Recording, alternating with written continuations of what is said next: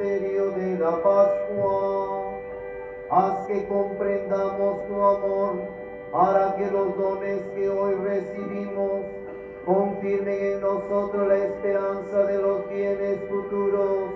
Por Jesucristo nuestro Señor.